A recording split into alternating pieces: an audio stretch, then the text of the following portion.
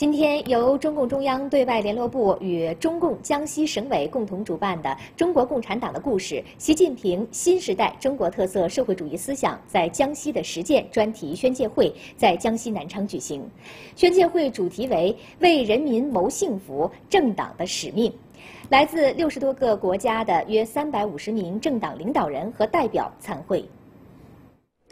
宣介会上，井冈山红色讲解员、脐橙种植大户、基层河长等五位江西基层党员干部群众走上讲台，从文化、经济、生态保护等角度，生动讲述了习近平新时代中国特色社会主义思想在江西的实践，使外国政党代表了解了中国基层党员干部通过落实政策，带领身边群众艰苦奋斗、追求幸福的经历，引发了他们的强烈共鸣。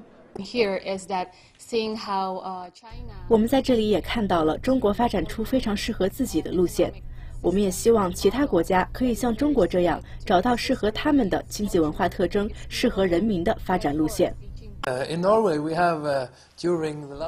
挪威经过一百年的努力，从一个贫穷的国家成为一个发达国家。挪威人民在发展中获得了幸福。中国和挪威一样，也走出自己的发展道路，从贫穷的国家发展成为繁荣的经济体，使亿万人民摆脱贫困，使我们非常钦佩。